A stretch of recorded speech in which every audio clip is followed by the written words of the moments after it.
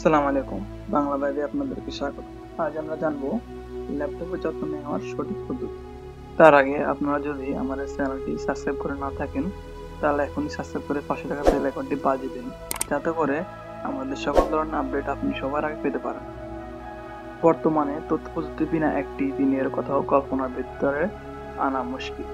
আর তথ্য প্রযুক্তির মূল হাতিয়ার হচ্ছে কম্পিউটার আর সবচেয়ে বেশি ব্যবহৃত কম্পিউটারটি হচ্ছে ল্যাপটপ কম্পিউটার যতদিন যাচ্ছে, তত কম্পিউটারের আকার কমে আসছে। এখনও তো প্রায় মানুষের হাতের মুঠোতে কম্পিউটার। বলতে গেলে, এখন কম পর্যন্ত সবচেয়ে জনপ্রিয় ল্যাপটপ কম্পিউটার।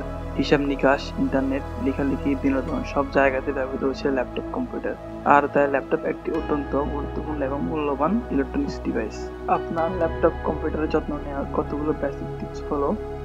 এক, আপনার কম্পিউটারের প্যাডের সুরক্ষা নিশ্চিত করুন। প্যাডের সুরক্ষা নিশ্চিত করার খুবই গুরুত্বপূর্ণ। হঠাৎ করে ল্যাপটপ পড়ে গেলে অথবা আচার খেলে তাৎক্ষণিক স্ক্র্যাচ পড়ার হাত থেকে রক্ষা করার উপায়। তার পাশাপাশি ভেতরের হার্ডওয়্যারগুলো ঠিক রাখবে। সুতরাং নরম কোনো আবরণ দিয়ে আপনার ল্যাপটপটিকে সযত্নে বহন করুন। দুই ল্যাপটপের যত্ন অনেকাংশে নির্ভর করে ল্যাপটপের ব্যাটারি যত্নের উপর। ল্যাপটপ সম্পূর্ণ চার্জ না হওয়া পর্যন্ত চার্জার আনপ্লাগ করা উচিত নয়।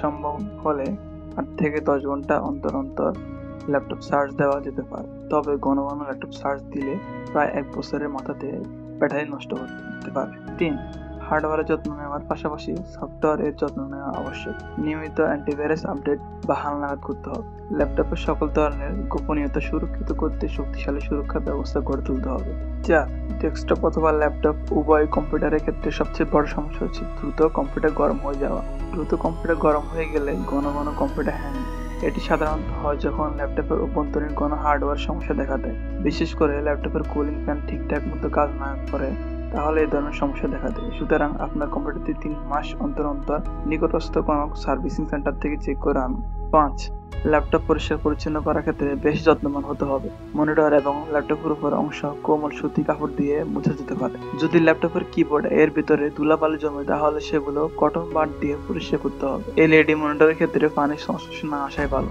ছয়, ল্যাপটপ ব্যবহার করার সময় ঘরে আলো, বাতাস ঢোকার পর্যাপ্ত ব্যবস্থা রাখতে হবে। এয়ার কন্ডিশন অথবা ফ্যানের ব্যবস্থা থাকলে ভালো হয়। কখনো ল্যাপটপটিকে চাদর, কম্বল অথবা লেপের উপর চালানো উচিত নয়। সাত বেশিক্ষণ ধরে ল্যাপটপে কাজ করাটা মোটেও ঠিক নয় এটি যেমন স্বাস্থ্যের পক্ষে ক্ষতিকর, তেমনি ল্যাপটপের জন্য বেশ ক্ষতিকর। তাই প্রতি দেড় থেকে দুই ঘণ্টা কাজ করার পর কমপক্ষে এক ঘণ্টা বিরতি দিতে হবে। আর সাধারণ ট্রাভেল শুটিং সম্পর্কে ধারণা থাকতে হবে। ল্যাপটপ কেনার পর ল্যাপটপের সাধারণ ট্রাভেল শুটিং সম্পর্কে ধারণা থাকলে ল্যাপটপে কোনো ধরনের গোলযোগ দেখা দিলে তার সাথে সাথে করা নন নিয়মিত কম্পিউটার সার্জারে অথবা কম্পিউটারের ভেতরে কোনো যন্ত্রাংশ ত্রুটি রয়েছে কিনা সেটিকে দেখতে হবে। মাঝে মধ্যে মাদারবোর্ডের ক্যাপাসিটরে কোনো ধরনের ত্রুটি হয়েছে কিনা সেটি খেয়াল করতে হবে। যদি এমন ধরনের কোনো ত্রুটি চোখে পড়ে, তাহলে সাথে সাথে ক্যাপাসিটরটি ভালো করে সার্ভিসিং করতে হবে। দশ, অনেকে জিরো পার্সেন্ট সাহায্য ল্যাপটপ খুলে দেখে কাজ করে। এটি ব্যাটারির উপর চাপ ফেলে। ফলে পরবর্তীতে নানা রকমের সমস্যা দেখা দেয়। যেমন, চার্জ হয় খুব ধীরে, অনেক সময় চল্লিশ থেকে পঞ্চাশ পার্সেন্ট চার্জ হয়েছে, কিন্তু হুট করে কম্পিউটার বন্ধ হয়ে গেল।